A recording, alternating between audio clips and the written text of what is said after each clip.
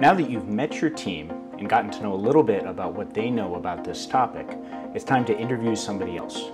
So you're going to send one or more people of your group to a different team and some members of another team are going to come join yours. And you're going to do an interview to learn a little more about that person and what they think about the topic. Be sure to introduce yourselves, everyone on your team, to the person who is joining your team for the purpose of the interview.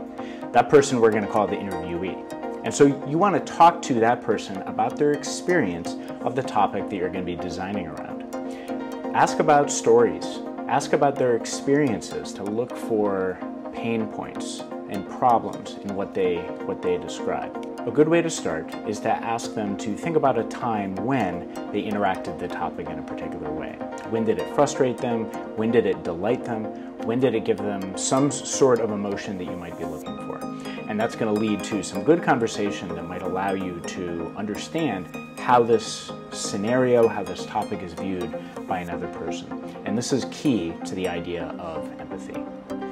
As you do this, in the Jamboard, take some notes on sticky notes on what the person says. As you do this, each of you is going to come up with some notes on what the person says.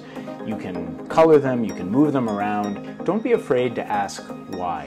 Don't be afraid to ask why.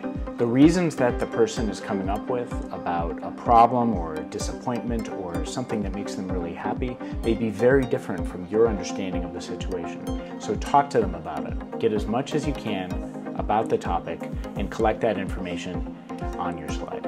I'm going to leave you for seven minutes to interview your person. On your mark, get set,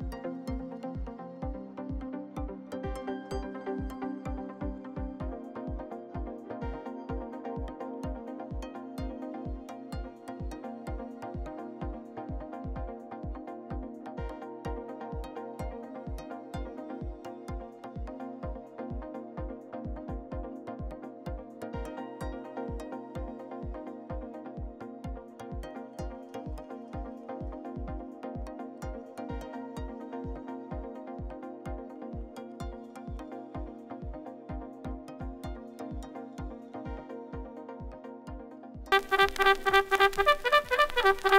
you.